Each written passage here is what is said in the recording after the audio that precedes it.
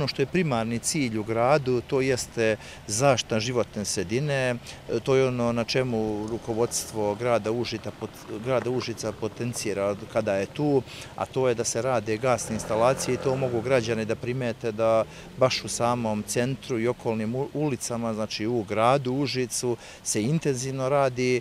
Eh, ono što je tu veoma bitno to je da izvođači radova prate eh, kopanje ljudi koji izvode gasne instalacije. Tako možemo da vidimo evo i ovde u ulici Ive Andrića u ovom donjem delu, tu su jel tako nekada završne gasne instalacije, eh, tu je došlo do toga da se sada rekonstruiše ovaj deo ulice, tu je grad Užice izdvojio iz posebnog dela budžeta oko 10 miliona dinara.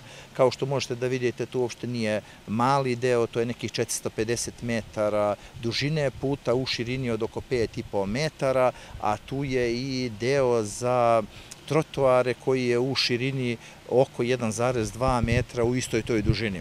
Tu ćemo navesti da će otprilike biti oko 1000, da kažemo, ibičnjaka. Dok traju ovi radovi, možete da primetite ovde da su napravljeni alternativni pravci za građane. Jedan ide iz ove Račanske ulice, a drugi ide prolaz pored vodovoda u ulicu Užičke vojske.